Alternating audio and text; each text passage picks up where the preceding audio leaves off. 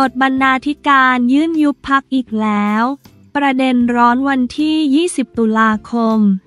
2567 18นาฬิกา 23 นาที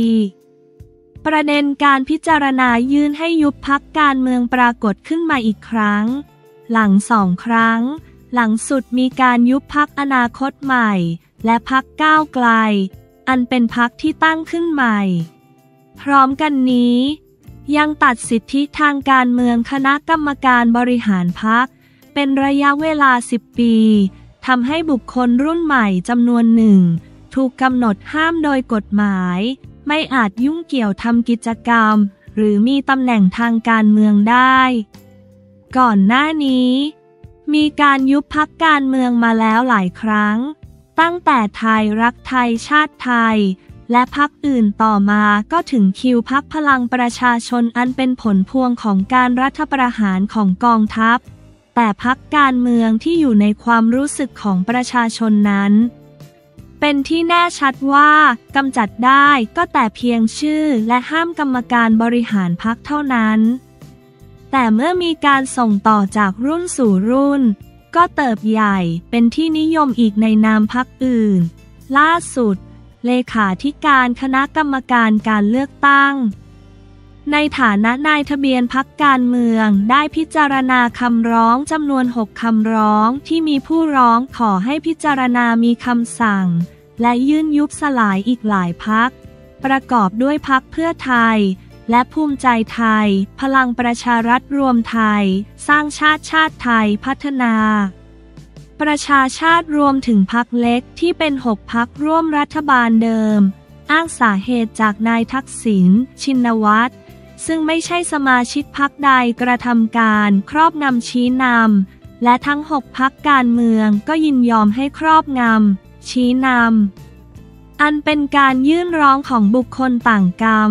ต่างวาระ รวมหกคำร้องนายทะเบียนพักการเมืองพิจารณา แล้วเห็นว่าคำร้องมีมูล จึงให้ตั้งคณะกรรมการสอบสวน เพื่อดำเนินการและมีความเห็นเสนอ โดยให้แล้วเสร็จภายใน 30วันเป็นอย่างน้อย กรณีนี้มีปฏิกิริยาจากฝ่ายการเมืองอย่างหลากหลาย โดยเฉพาะกรณีที่ระบุว่าเป็นคำร้องนิรนามนั้นจักสามารถนำมาเป็นเรื่องร้องเรียนที่ควรรับมาพิจารณาได้อย่างไร นอกจากนี้คำร้องอื่นในลักษณะดังกล่าว ก็เป็นเสมือนการนึกตรึกคิดเอาเอง ตั้งข้อสงสัยแล้วนำไปเป็นเหตุยื่นร้อง ขณะเดียวกัน ผู้ร้องบางคนก็น่าสงสัยในเครื่องชี้เจตนา จริงอยู่ พักการเมืองย่อมถูกร้องเรียนตรวจสอบได้ตามรัฐธรรมนูญ และกฎหมายประกอบรัฐธรรมนูญว่า ด้วยพักการเมือง แต่หลายเรื่องกลับไม่ได้กระทำไปในฐานะผู้เสียหาย โดยแท้จริง ตลอดระยะเวลาเกือบ 20 ปี มีพักการเมืองใหญ่ถูกยุบไปแล้วอย่างน้อยสี่พักดังนั้นต้องตั้งคำถามว่าเป็นประโยชน์จริงหรือไม่ เพราะพักการเมืองควรอยู่หรือสิ้นไปน่าจะโดยความนิยมประชาชนมากกว่า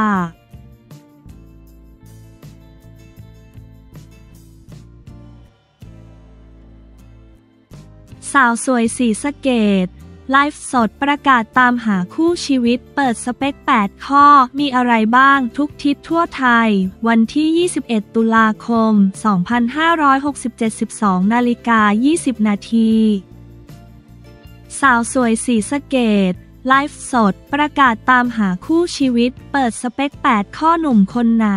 อยากกุมหัวใจต้องผ่านหลักเกณฑ์นี้ เช็คลิสต์ได้ที่นี่เลย จากกรณีมีผู้ใช้ Facebook สาวชื่อซายามอนอันค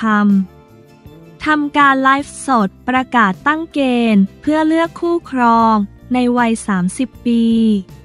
ซึ่งหลังจากทำการไลฟ์สด ปรากฏว่า สร้างความสนใจให้กับหนุ่มใหญ่หนุ่มน้อยที่ต่างมากดไลค์และเข้ามาคอมเมนต์พร้อมสมัครเป็นแฟนจำนวนมาก ล่าสุดเมื่อเวลา 9 นาฬิกา วันที่ 21 ตุลาคม 2567 ผู้สื่อข่าวเดินทางไปพบหญิงสาวคนดังกล่าว ชื่ออลิส หรือนางสาวสยามนอุ่นคำอายุ 30 ปี ปัจจุบันทำงานเป็นข้าราชการของหน่วยงานแห่งหนึ่งในพื้นที่จอ สีสะเกตซึ่งเป็นหญิงสาวหน้าตาดี รูปร่างเล็กน่ารัก และมีเสน่ห์สาวสวยสีสะเกต ไลฟ์สด ประกาศตามหาคู่ชีวิต เปิดสเปค 8 ข้อหนุ่มคนไหน อยากกุมหัวใจ ต้องผ่านหลักเกณฑ์นี้เช็คลิสต์ได้ที่นี่เลย โดยเจ้าตัวอยู่ในอาการเขินอายก่อน จะเปิดเผยข้อมูลให้กับผู้สื่อข่าวฟัง ว่าที่ผ่านมาตนคบกับใครเป็นแฟน ใช้แต่ความรู้สึกเป็นหลัก และไม่ได้มีเกณฑ์อะไรมากมาย ทำให้เกิดความผิดหวังเรื่องความรักอยู่บ่อยครั้ง แต่หลังจากอายุที่มากขึ้นในวัยที่เข้าสู่เลขสามหรืออายุ 30 ปีนั้น จึงตัดสินใจกำหนดตั้งหลักเกณฑ์การเลือกคู่ชีวิตนางสาวสยามนกล่าวต่อว่า ซึ่งในตอนแรกตนได้ตั้งหลักเกณฑ์เล่น ๆ ไว้จำนวน 30 ข้อ แต่หลังจากนั้นได้มีการปรับหลักเกณฑ์ จัดหมวดหมู่ก็ตกผลึกเหลือ เพียง 8 ข้อที่เพียงพอสำหรับตน ในการกำหนดคัดคนเข้ามาใช้ชีวิตร่วมด้วยในอนาคตสำหรับหลักเกณฑ์ 8 ข้อประกอบด้วย 2 ฝ่ายไลฟ์สไตล์เข้ากันชอบอ่านหนังสือ มีนิสัยรักสันโดษเพื่อนน้อย มีความเรียบง่ายในชีวิต มีศักยภาพในการสร้างรายได้ และบริหารเงิน เป็นมีวุฒิภาวะทางอารมณ์รู้จักคิด ไม่เรื่องมากใจเย็นอ่อนโยน รักและดูแลใส่ใจเรา มีความโรแมนติกรสนิยม ทางเพศตรงกัน มีความสูงผิวพรรณสะอาดน้ำเสียงดี บุคลิกดี ไม่มีโรคที่เป็นกรรมพันธุ์ มีความเข้าใจ ชีวิตเข้าใจสัจธรรมปรัชญาศาสนา ในระดับที่ใกล้เคียงกับเราหรือสูงกว่านางสาวสยามนกล่าวว่า โดยทั้ง 8 ข้อนี้ หากจะถามตนว่า ผู้ชายที่เข้ามาหาตน ต้องมีครบทั้ง 8 ข้อเลย หรือไม่จริงๆ อาจจะมีไม่ครบหรือมีเพียงครึ่งหนึ่ง 4 ข้อหรือ 6 ข้อ ก็เพียงพอแล้ว แต่ก็ต้องอยู่ในข้อหรือหลักเกณฑ์ที่ตนมองข้ามไม่ได้ นางสาวสยามนกล่าวต่อว่า ส่วนเรื่องอายุของคนที่จะเข้ามานั้น ขอเป็นอายุ 35 ปี ไม่เกิน 50 ปี และที่สำคัญต้องเป็นคนโสด หากจะเป็นพ่อไม่ลูกติด ผ่านการแต่งงานมาแล้วก็สามารถมาสมัครได้เช่นกัน แต่ต้องมีใบหย่ามายืนยันว่า โสดแล้วเพื่อไม่ให้เกิดปัญหาในภายหลังนางสาวสยามนกล่าวอีกว่า หลายคนอาจจะมองว่าชายหนุ่มน้อย หนุ่มใหญ่ที่จะเข้ามา ต้องมีกำหนดฐานเงินเดือนหรือไม่ตนมองว่าขอเพียงแค่ดูแลตนและครอบครัวได้ก็เพียงพอแล้ว ในเรื่องนี้เพราะตนไม่อยากกำหนดฐานเงินเดือน จะกลายเป็นมองว่าตนมองเรื่องเงินเป็นหลัก ซึ่งมันไม่ใช่แต่อย่างใด ซึ่งจากทั้งหมด 8 ข้อนี้ หากไม่ได้ตามหลักเกณฑ์หรืออะไรเลย ตนก็พร้อมจะรอและยังไม่แต่งงานและมีชีวิตคู่แต่อย่างใด นางสาวสยามนกล่าวด้วยว่าสำหรับใครที่บอกว่ายิ่งอายุเยอะ สเปคยิ่งลดลง โดยส่วนตัวแล้วไม่จริงเลย ยิ่งอายุเยอะเกณฑ์ยิ่งเยอะตามยิ่งผ่านประสบการณ์มามากเราก็ยิ่งตระหนักและรอบคอบในการเลือกคู่ชีวิต เกณฑ์นี้ที่เราตั้งขึ้นมาเพื่อตระหนักว่าการ ที่เราจะมีคู่เราต้องมองคุณสมบัติอะไรบ้าง นางสาวสยามนกล่าวว่า เพราะถ้าเราตัดสินใจด้วยการใช้อารมณ์อย่างเดียว มันจะมีปัญหาอื่นๆ ตามมาคือความรักความรู้สึก มันเปลี่ยนแปลงได้ตามการเวลา แต่คุณสมบัติอื่นๆ ที่ไม่ใช่ความรู้สึกมันเป็นคุณสมบัติที่อยู่นาน มีความสำคัญในความสัมพันธ์ระยะยาว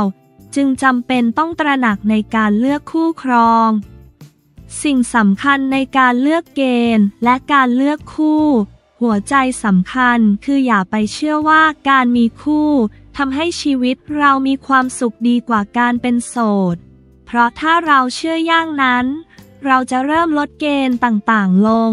เพื่อจะได้มีคู่แล้วทำตามความรู้สึก เพื่อสละโสด มันมีการวิจัยว่าการมีคู่กับไม่มีคู่ มันไม่ต่างกันมาก เราจึงต้องมีความรู้สึกในฉบับของเราเอง มีความสุขในแบบตัวเอง และสามารถออกแบบให้มีความสุขได้ ถ้าเราเข้าใจธรรมชาติของความสุขในชีวิต